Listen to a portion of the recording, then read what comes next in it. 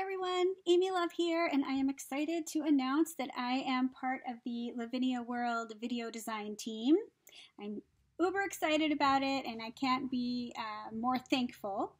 And so I will be creating two tutorials a month for their new channel. So their new channel is linked below, and once they hit 100 subscribers, they are going to have an amazing giveaway. So make sure you go over there and sub. And I am sharing with you the project that I made for the first tutorial for this month. But of course, I'm not going to show you how I made it. You got to go over there to see the video. But I will link that video below also. I decided to um, alter a tote bag, which is so super cute.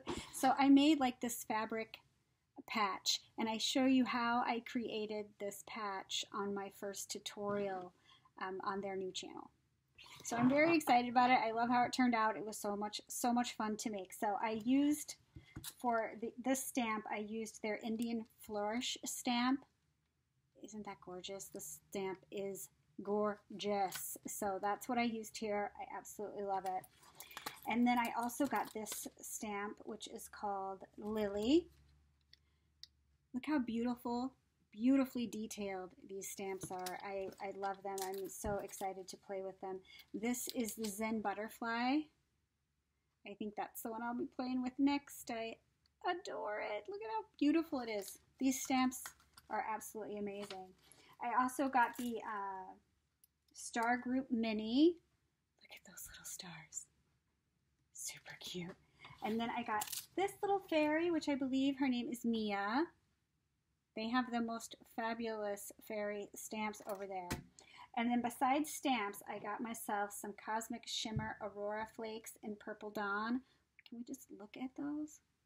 Like, I can't wait to play with that. I'm very excited about these. I also got the Cosmic Shimmer Glue while I was over there. And I will have a link to their website below, of course. And then they sent this beautiful, beautiful sample of glitter because they are going to start carrying Fairy Hugs glitter powders in a bunch of different colors. And they sent me this color. Look at how beautiful is that. So I look forward to playing with that also. So I'm very, very excited about this new adventure. So I hope that you will leave me a comment and let me know what you think and that you will go over there and sub that new channel and leave me a comment on my first tutorial. And um, thank you guys for all your support. I'll see you next time.